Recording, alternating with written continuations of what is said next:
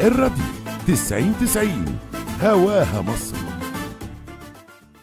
خليني أقول لكم أرقام سريعا عشان مش عايز أتكلم أكتر من كده ونسمع أكتر من ضيوفنا اللي هيكون معانا بعد هذا الفاصل. أرقام سريعة كده.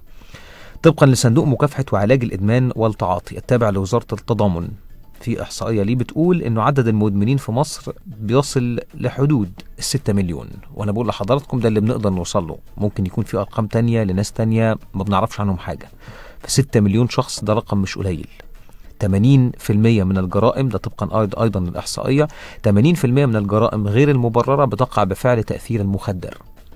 عدد دعاوى الطلاق بسبب إدمان الزوجات شوفوا الصدمة بسبب إدمان الزوجات للمخدرات ده طبقا لاحصائيه في 2015 كانت أكتر من 13200 دعوة قضائية للطلاق بسبب إنه الزوجة بتتعاطى. في مقابل حالات الطلاق دعاوى الطلاق بسبب انه الزوج بيتعاطى وصلت لحوالي 17800 دعوة. مكاتب تسوية المنازعات بمحاكم الأسرة قالت أن متوسط الدعاوى آه، سواء طلاق أو خلع نتيجة إدمان الزوج أو الزوجة بنتكلم على في حدود تقريبا 8500 دعوة قضائية سنويا. ده رقم مش قليل على فكرة. يعني ما تستصغروهوش. طيب موضوع إنه في أبناء عارفين إنه الآباء أو الأمهات بيتعاطوا ايا كان المخدر حتى لو كان حشيش اللي البعض بيشوف إن هو يعني ده مش مش زي المخدرات التانية يعني. إنما وده اللي كنت بحاول بقى أوصله في المداخلة إنه مركز حقوق الطفل بيقول إنه النسبة بتتراوح من 20 ل 40% تقريبا بس المؤكد إن هي 20% وبرضه ما تستصغروش الرقم إنه أبناء المدمنين بيبقوا مدمنين برضه. بيتعاطوا برضه سواء عن طريق الخطأ أو لمجرد ال- التقليد. وفقا لمركز السموم يعتبر الحشيش المخدر الشعبي للأزواج ونسبة تعاطيه 79% يليه مخدر الترامادول بنسبة 30% ثم الهيروين 13.6 من عشرة والبانجو 1.7 من عشرة. وفقا لمسح وزارة الصحة والسكان ممثلة في الأمانة العامة للصحة النفسية من المسح القومي للإدمان العام المالي 2017-2018 حول معدلات انتشار وتعاطي واستعمال أو الإدمان في المجتمع. أظهرت أنه 9% هي نسب تعاطي المخدرات بين المصريين. اضرب بقى حضرتك ال 9% دي أو قول- نقول 10% عشان نقرب الأرقام يعني. من آه، 104 مليون نسمة يعني بتتكلم على 10 مليون مدمن وبيتعاطوا مخدرات في بلدنا. تاني لو تأثير التعاطي عليهم هم شخصيا يمكن الكارثة تبقى أقل. بس العشرة مليون دول بيعملوا إيه في المجتمع؟ هي دي المصيبة الكبيرة. عشرة وستة من عشرة في المية نسب استعمال المخدرات بين آه، طوائف الشعب. تلاتة وتسعة من عشرة نسبة الإدمان بين المصريين آه، في حدود الواحد في المية هي نسب إدمان طلاب وطلبة الثانوية العامة وفي حدود الواحد ونص في المية معدل استعمال المخدرات بين طلاب المدارس. طلاب المدارس أنتوا عارفين هم كام؟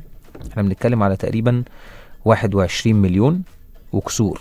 فانت بتتكلم على من طلاب المدارس عندنا حاجة بتاعت تقريبا تقريبا في حدود الربع مليون يعني آه بيتعاطوا غير بقى المدمنين كمان ده بس مجرد تعاطي. بحسب تقرير المخدرات العالمي لما بنيجي نبص بقى على الصورة الأكبر أولا خليني أقول لحضراتكم هو في كمان تقرير تاني بيقول إنه 10% من الطلبة والطالبات جربوا جربوا. فأنت بتتكلم على من ال 21 مليون يعني عندك حوالي 2 2 مليون و100 ألف جربوا. منهم بقى اللي بيستمر ومنهم اللي بيقول خلي بالكم بقى ده طبقا للدراسة. الدراسة بتقول إنه في نسبة كبيرة منهم آه، اتعالجوا. يعني حضرتك هتيجي النهارده تسأل واحد بيتعاطى تقول له أنت بطلت؟ يقول لك أنا خلاص اتعالجت. فهتاخد كلامه. ومنهم اللي بيدعي إنه بطل ومنهم اللي بيقول إنه أصلا ما بيتعاطاش عشان ما يبقاش شكله وحش في المجتمع. ده غير طبعا إنه على الناحية التانية بقى بالنسبة للولاد أنتوا عارفين طبعا ال ال السذاجة بتاعت إنه البعض بيتعاطى من منطلق إنه ده رجولة. وده يعني اللي بيفكر بالأسلوب ده ما يعني ساذج سذاجه مش طبيعية. مهم. حسب تقرير المخدرات العالمي بقى الصادر في 2016 جاء فيه إن واحد من كل 20 شخص بالغ في الفئة- العمرية من 15 ل 65 سنة بيتعاطوا مخدرات ولو لمرة أو تعاطوا ولو لمرة واحدة. يعني أنت بتتكلم على في العالم إحنا بنتكلم على حوالي نص آه، ربع مليار.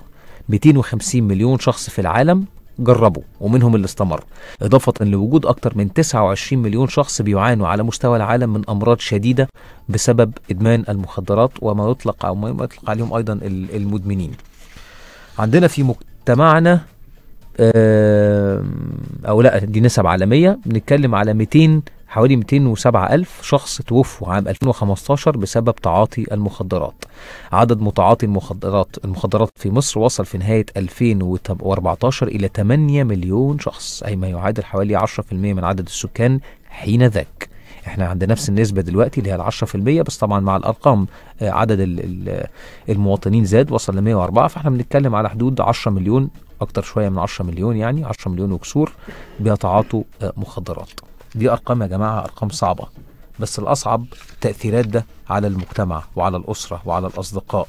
وعنصر كبير من آه، اللي بيخلي الناس رجليها تيجي في المخدرات على فكرة هم الصحاب. وجرس الإنذار لازم يبقى بيرن في كل بيت عشان آه، يخلوا بالهم من ولادهم. فما بالك بقى بأب أو أم هم اللي بيتعاطوا. مفيش شك وخصوصا بقى لو الأولاد عارفين ده أنت لازم تبقى متأكد ومتيقن مليون في المية مهما أحسنت تربية ولادك وبناتك إنه في يوم من الأيام على الأقل هيجربوا اللي أنت بتعمله. إن لم يستمروا أو طيش الشباب ما خد- ما خدهمش كمان لما هو أسوأ من ذلك. ده جرس إنذار. أرجو ان يتنبه ليه كل شخص.